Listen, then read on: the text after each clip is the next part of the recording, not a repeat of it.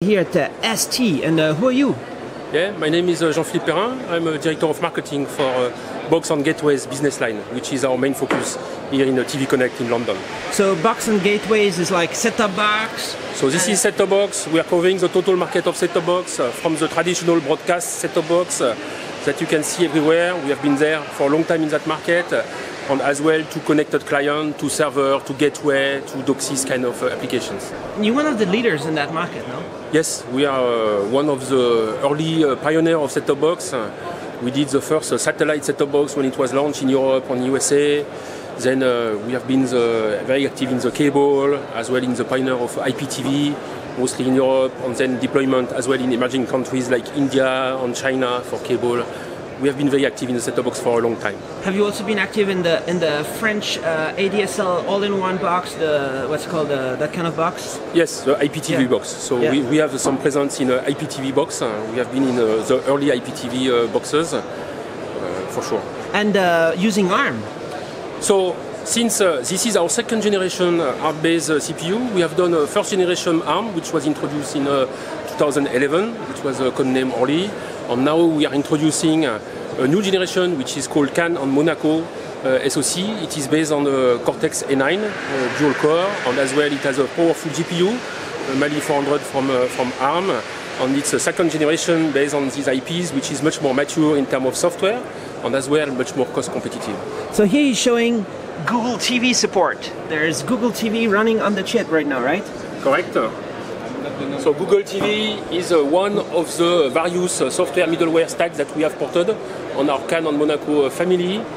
We have as well some other software from Cisco, Nagra, and as well we are supporting RDK. And uh, we support Google TV, but we support as well just people which are using Android by itself without the Google TV brand. So there's uh, all the Android stuff and the TV stuff, and everything is overlaid. And there's uh, in the box there's HDMI in and out.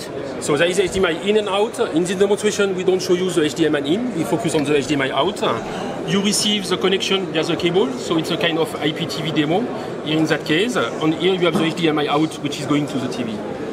And you were saying there were some other solutions. So which one is the top solution right now in set-top box? So today we have uh, this solution, we have an HD solution, and we have as well an Ultra HD solution that we have introduced last year at IBC in September in, uh, in Amsterdam.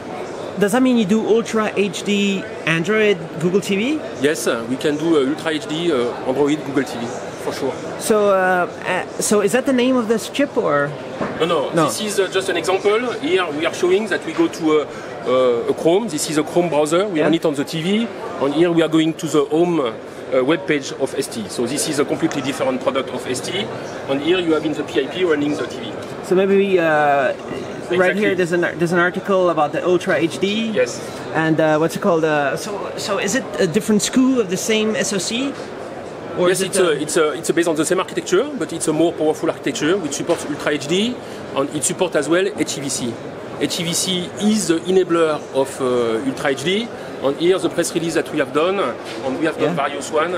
We are testing interoperability of various encoder company, Envivio is an encoder company with our HEVC decoder to, uh, to prepare the wide deployment of HEVC, which is reducing the bandwidth by a factor of 30, 40, 45% uh, compared to the traditional H264. so do you do uh, do you do what's called uh, uh, HEVC 4K?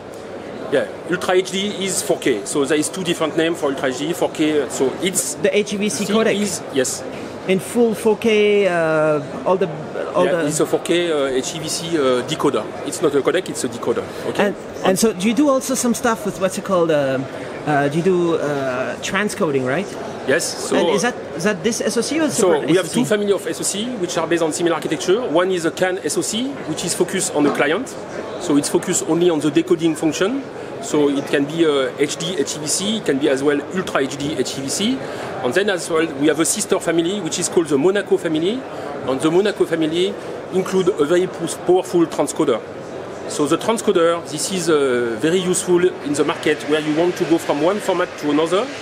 Typical example is that you receive a MPEG-2 stream which is interlaced and you want to display it on a tablet.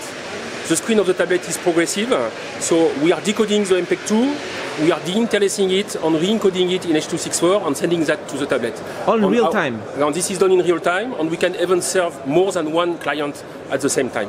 More than one. So so it will be in the box at home where there will be a Wi-Fi hotspot and people can stream. Exactly. So typically, you will have a powerful set-top box. This is quite a powerful one. It has a Wi-Fi, and uh, you will send uh, the the by Wi-Fi to uh, to your phone or to your tablet on this kind of client.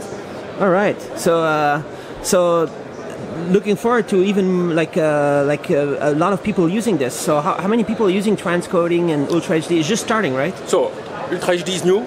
Okay. Yeah. Today uh, there is the very first uh, commercial service on Ultra HD was launched by uh, Sony. It's uh, VOD services, but this is really uh, The beginning. beginning.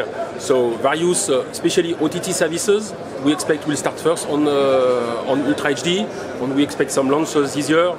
Now for the mainstream broadcast of uh, Ultra HD, we are more talking about the, the Olympics uh, 2016 in Brazil, or this kind of time frame for the early launch of uh, broadcast Ultra HD. It will take some time because the TV are still uh, fairly expensive. So before 2011, you were using MIPS or So before uh, before 2000 on, on still, Still, our uh, our broadcast set-top box are using uh, what we call the ST40, which is a, a CPU which is based on the SH4 architecture. all right. So uh, here it is, uh, Google TV, Android, and uh, lots of more stuff coming out.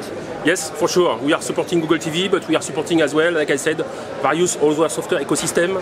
So here we are in the IP, so we put Google TV, but in a cable show, you would, choose, you would, you would see some demo using RDK, which is very popular in the cable set-top box. And then uh, we have as well uh, software which is more coming from the, the root of the set-top box, from Cisco, from uh, Nagra, from OpenTV, which uh, we are supporting as well on this chipset. And when you said RDK, that means uh, uh, this is the new uh, Linaro is launching the home group. Are you are you Yes, working we are there? participating in that. So we are a member of uh, Linaro, and uh, we already uh, have active interaction with that. So RDK was initially launched uh, by a US cable operator, and now it's more and more, more working towards the, the Linaro and the open source uh, system. Do you think it's going to be huge, the open RDK system? So we see a, a big trend forward RDK. RDK is more popular in the cable market. So here we are in an IP show, so we don't focus too much on RDK. But uh, in the cable market, definitely we see a big future for RDK. And it's uh, another software track that we support aggressively on our Cannes on Monaco uh, SoC.